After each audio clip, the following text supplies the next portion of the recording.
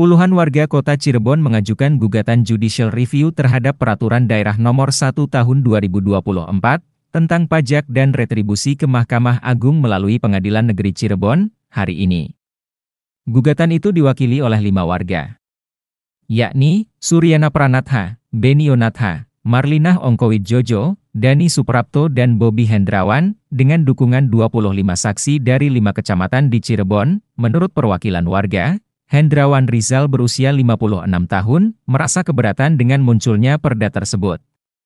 Di mana, perda tersebut mengatur atas kenaikannya PBB yang sangat besar, pajak tahun ini saya naik 165 persen, dengan angka yang di luar kewajaran.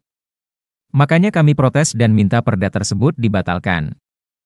Kata warga perumahan ISP itu, sedangkan, kuasa hukum warga, Heta Mahendrati menyampaikan, materi lengkap untuk gugatan, kami tim advokasi rakyat Kota Cirebon, di sini membantu masyarakat Kota Cirebon untuk pengajuan judicial review. Tentang pajak dan retribusi, ujar Heta, sebelum mengajukan gugatan, pihaknya telah menempuh berbagai langkah. Mulai dari urun rembuk, pertemuan dengan PJ Wali Kota, hingga demonstrasi.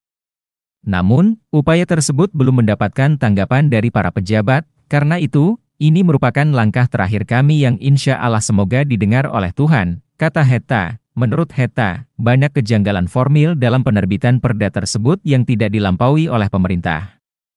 Baik eksekutif maupun legislatif, pihaknya telah menyertakan seluruh bukti dalam pengajuan gugatan.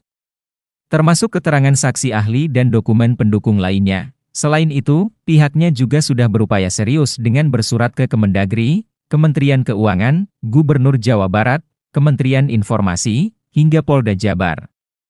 Mungkin, tinggal malaikat saja yang belum kami surati, kata Heta. Dengan adanya upaya tersebut, masyarakat kota Cirebon menunda pembayaran PBB sampai ada keputusan baru.